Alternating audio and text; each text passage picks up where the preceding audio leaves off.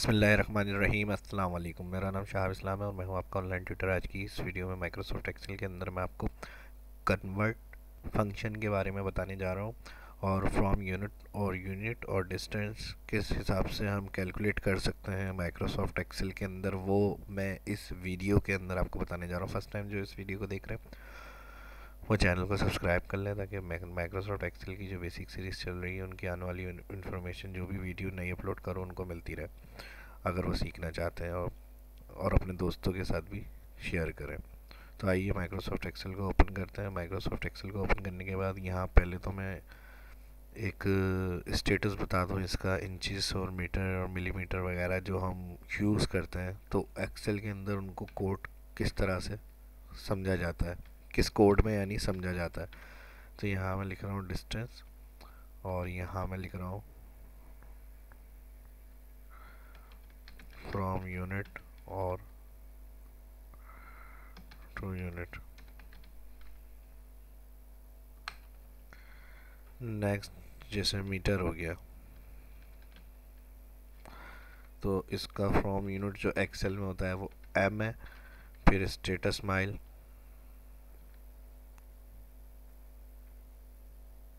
sorry statute mile है statute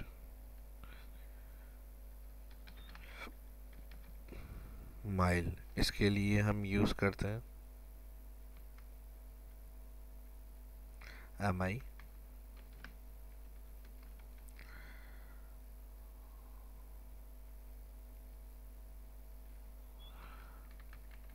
next उसके बाद आ रहा है नेटिकल माइल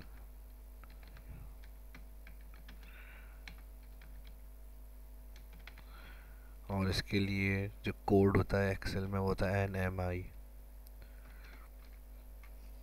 उसके लिए इंच इसके लिए एक्सेल में हम करते हैं इक्वल आई एन सी या आई एन इंच और यार्ड हो गया. इसके लिए इन्वर्टेड कॉमा वाई डी अब जो कैलकुलेशन इसके अंदर करनी है, इसके लिए मैं एक अलग से टेबल बना रहा हूँ। या हम यहाँ कर लेते हैं वो काम।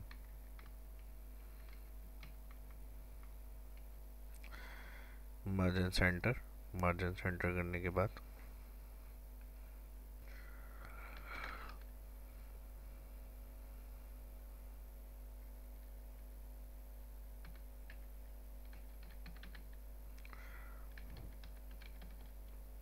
Function convert.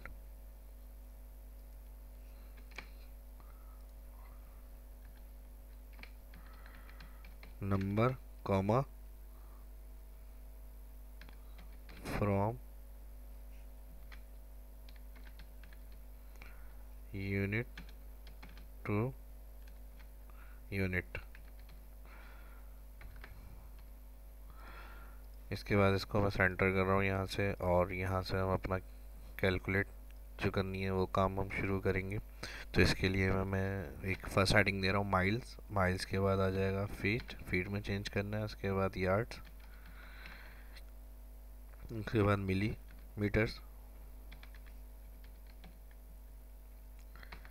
और उसके बाद आ जाएगा, इसको डबल क्लिक से मैं ऑटो फिट कर रहा हूँ। न्यूटिकल माइल्स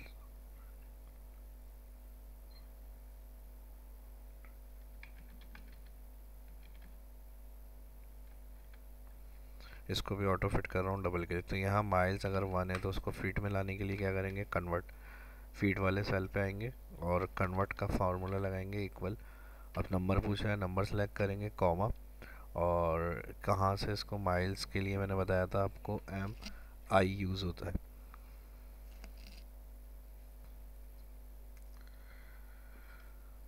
तो यहाँ पर जो हमें काम करना होगा, वो सेल सेलेक्ट किया फ़र्स्ट जिसमें वैल्यू आ रही थी, फिर इन्वर्टेड कॉमा एम आई फिर इन्वर्टेड कॉमा कॉमा सेकंड फिर इन्वर्टेड कॉमा किसके अंदर चेंज कर रहे हैं फीट में। तो एफ़ टी जो होगा फीट के लिए इन्वर्टेड कॉमा में हम बताएँगे इसको। या फिर आप यहाँ से देखकर इसको सिलेक्ट भी कर सकते हैं स्क्रोल से।